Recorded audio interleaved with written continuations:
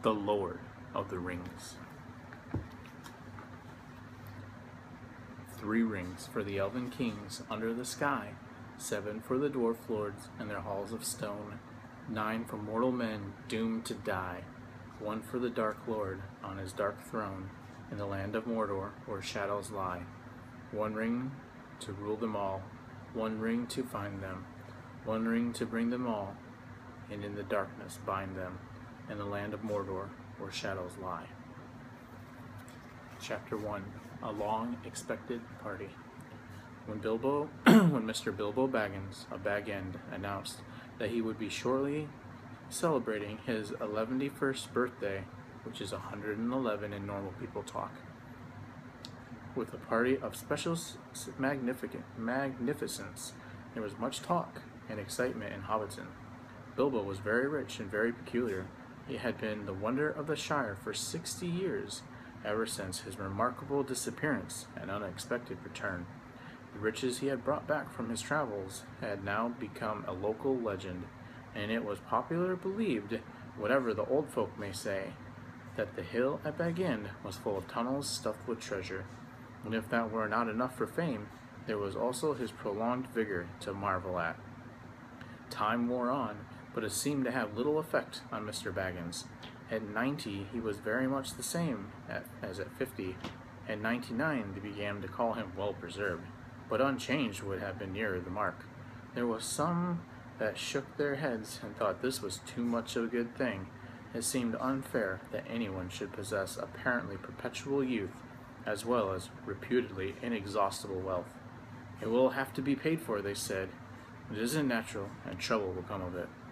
But so far, trouble had not come, and as Mr. Baggins was generous with his money, most people were willing to forgive him his oddities and his good fortune. He remained on visiting terms with his relatives, except, of course, the Sackville Bagginses, and he devoted Oh, and he had many devoted admirers among the hobbits of poor and unimportant families. But he had no close friends, until some of his elder co- younger cousins began to grow up. The eldest of these, and Bilbo's favorite, was young Frodo. Frodo Baggins. When Bilbo was 99, he adopted Frodo as his heir, and brought him to live with him at Bag End.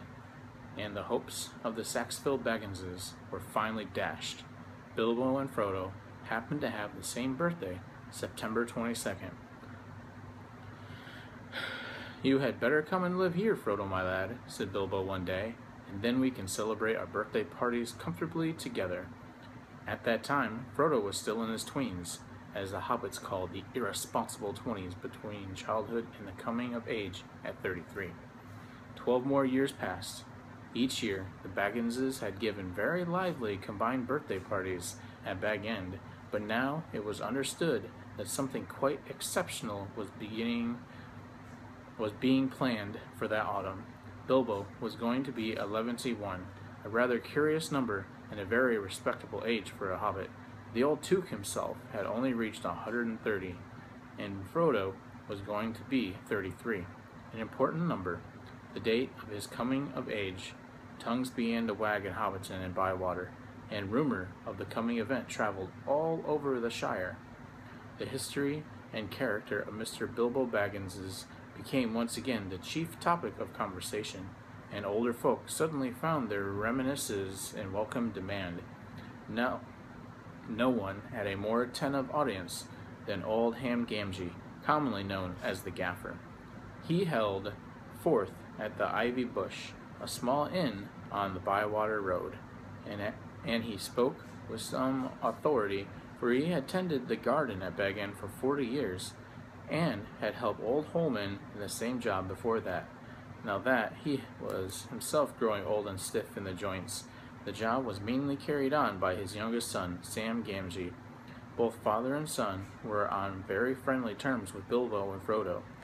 They lived on the hill itself, in number three Bagshot Row, just below Bag End. A very nice, well spoken, gentle hobbit is Mr. Bilbo, as I've always said, the gaffer declared. With perfect truth, for Bilbo was very polite to him, calling him Master Hamfast, and consulting him constantly upon the growing of vegetables, and the matter of roots, especially potatoes.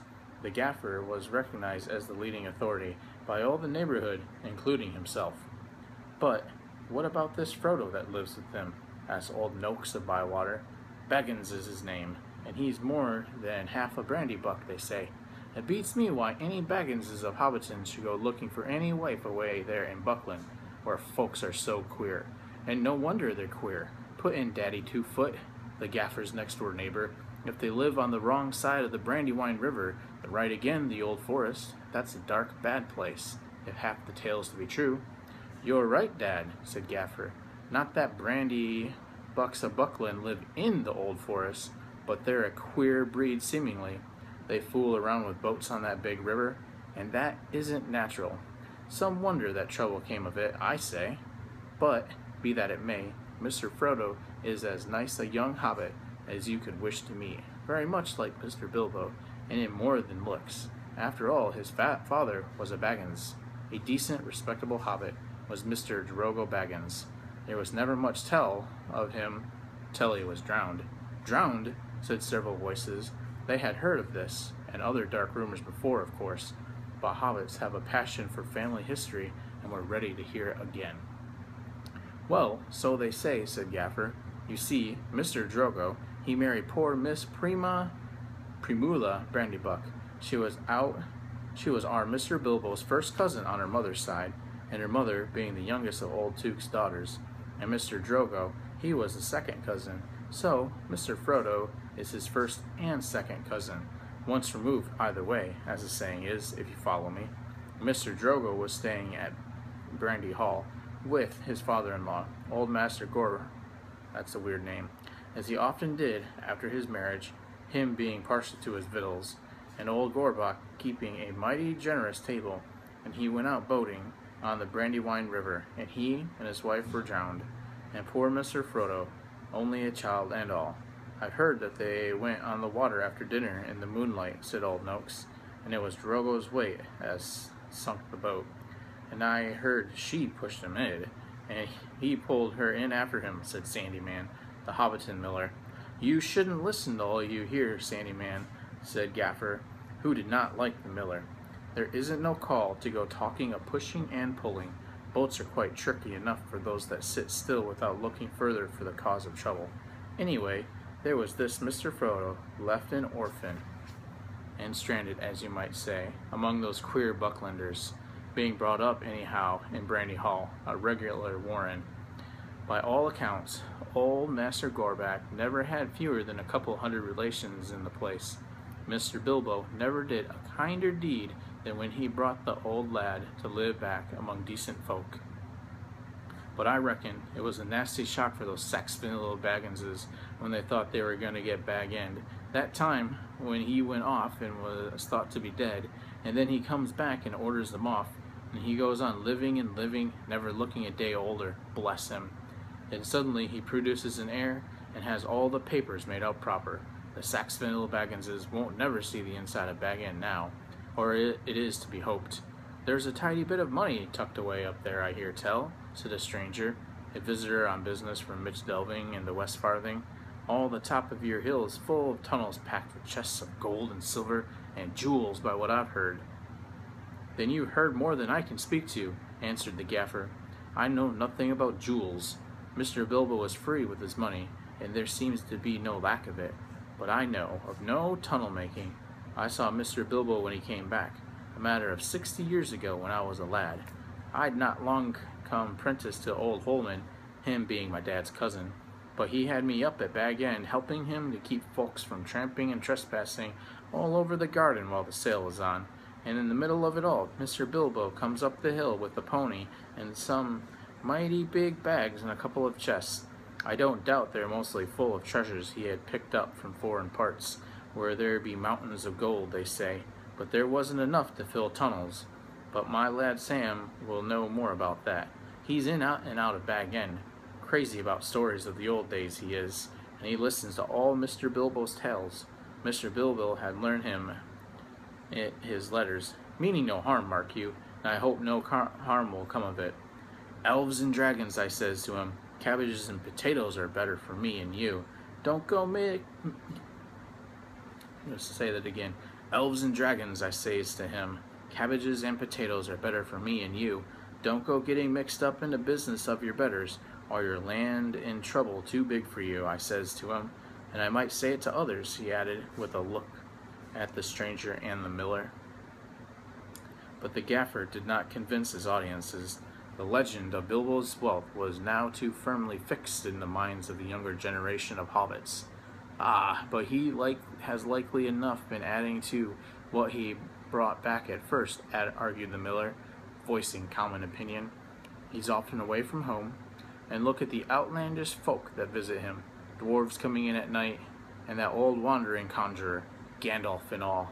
You can say what you like, Gaffer, but Bag End's a queer place, and its folk are queerer. And you can say what you like, but what do you know but what you know, no more than you do of boating, Mr. Sandyman, retorted Gaffer, disliking the miller even more than usual. If it's being queer, then we could do with a bit more queeriness in these parts. There's some not far away that wouldn't offer a pint of beer to a friend if they lived in a hole with a golden or in golden walls. But they do things proper at Bag End, or Sam says that everyone's going to be invited to the party and there's going to be presents, mark you, presents for all, this very month, as is. Let's take a break on page 25.